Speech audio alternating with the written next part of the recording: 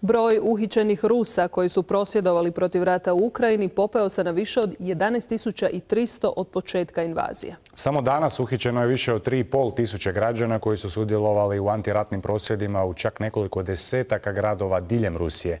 Podaci su to jedne nevladine organizacije u toj zemlji. Na ulicama se primjenjuje i sila. Mirni, ali masovni prosvjedi podrške Ukrajini obilježili su vikendi diljem Europe. Ida Hamer.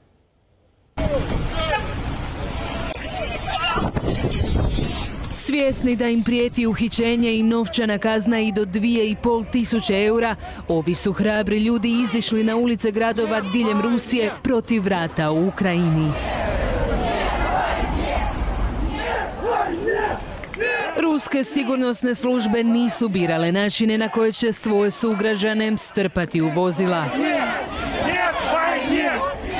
Na masovne prosvjede iz zatvora pozvao najglasniji kritičar Kremlja Aleksej Navalni. Sve je na Twitteru u njegovo ime objavila njegova glasnogovornica Kira Jarmiš. Ne smijemo postati nacija uplašenih ušutkanih ljudi, nacija kukavica koje se prave da ne primjećuju agresivni rat protiv Ukrajine koji je pokrenuo naš očito ludi car.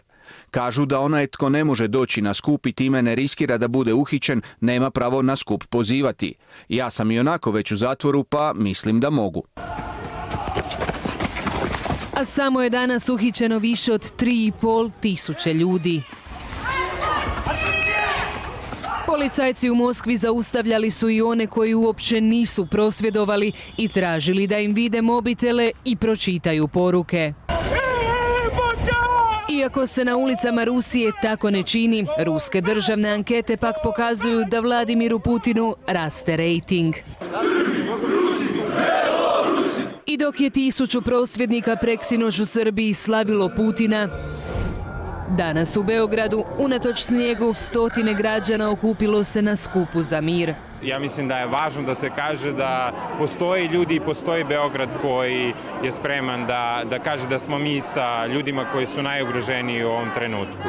More ljudi preplavilo je ulice talijanskog Rima s plavo-žutim i zastavama mira i onim posebno teškim slikama rata, poput oca koji plaće nad mrtvim djetetom. Noi non ci stiamo a raccogliere le macerie di un mondo distrutto dagli adulti.